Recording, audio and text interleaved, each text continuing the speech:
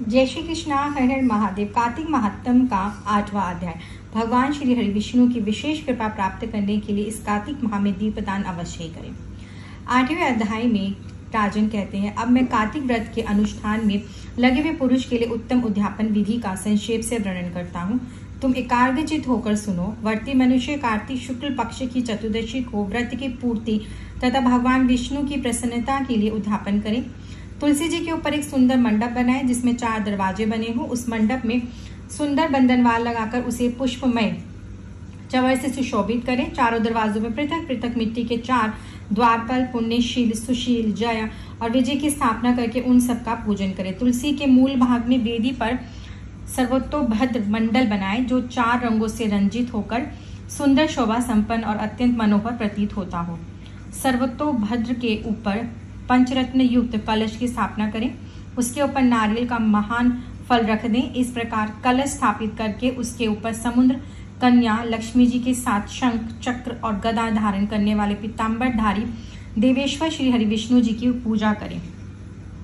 सर्वोत्तोभद्र के मंडल में इंद्र आदि लोकपालों का भी पूजन करना चाहिए। भगवान द्वादशी को शयन से उठे त्रयोदशी की देवताओं ने उनका दर्शन किया और चतुर्दशी को सबने उनकी पूजा की। इसलिए इस समय भी उसी तिथि को इनकी पूजा की जाती है। उस दिन शांत एवं शुद्ध चित्त होकर भक्ति पूर्वक उपवास करना चाहिए तथा आचार्य की आज्ञा से देवेश्वर श्री हरि विष्णु की सुवर्णमयी प्रतिमा का षोडचार द्वारा नाना प्रकार के भक्ष्य, भोज्य प्रसाद प्रस्तुत करते हुए पूजन करना चाहिए। रात्रि में गीत और वाद्य आदि मांगलिक उत्सवों के साथ भगवान के समीप जागरण करना चाहिए। जो भगवान विष्णु के समीप जागरण काल में भक्ति पूर्वक गान करते हैं, वे सौ जन्मों की पाप राशि से मुक्त हो जाते हैं। रात्रि जागरण के पश्चात पूर्णिमा को प्रातःकाल अपनी शक्ति के अनुसार तीस ब्राह्मणों को या एक सप्तनीक ब्राह्मण को भोजन के लिए निमंत्रित करें। उस दिन किया हुआ? दान, होम और जब अक्षय फल देने वाला माना गया है। अतः प्रति पुरुष खीर आदि के द्वारा ब्राह्मणों को भली भांति भोजन कराएँ। अतो देव, आदि दो मंत्रों से देव देव भगवान, विष्णु तथा अन्य देवताओं की प्रसन्नता के लिए पृथक पृथक तिल और खीर की आहुति छोड़ें। फिर यथाशक्ति दक्षिणा दें और उन्हें प्रणाम करें। इसके बाद भगवान विष्णु, देवगण तथा तुलसी का पुनः पूजन करें। प्रतिदिन भगवान के पूजन से मेरे संपूर्ण मनोरथ सफल हो तथा इस देह का अंत होने पर मैं अत्यंत दुर्लभ वैकुंठ धाम को प्राप्त करूँ।